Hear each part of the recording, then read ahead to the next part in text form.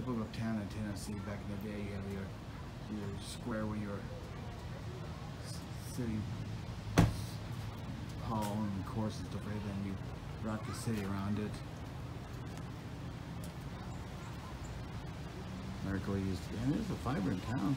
It's not like it had before where you have your mercantile and your dry goods stores and stuff like that, but it looks like it's pretty busy. Everything's here. Still, uh, this town I was I failed to mention was Murfreesboro, Tennessee. And uh, this right here, this bakery, delicious. It's, it's worth going to. Noni's Bakery, I think, and right next to it is a barbecue place. You smell it. Oh, it smells good. It tastes as good as it smells.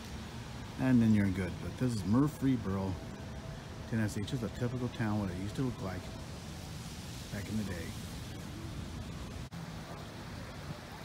Old, old buildings with today's type of businesses. I like these smaller towns in the eastern side of the United States.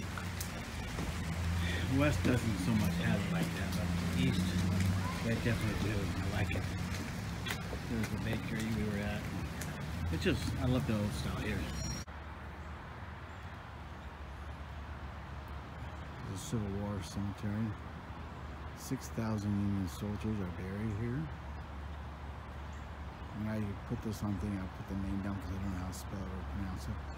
But the, the small headstones are for the unknowns. There's like two and a half thousand unknowns. And the big ones, of course, have, will have the name on. That's why they are bigger.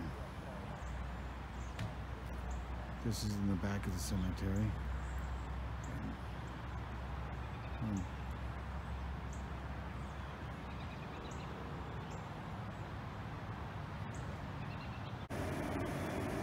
Here's the front side of it, Stone River National Cemetery.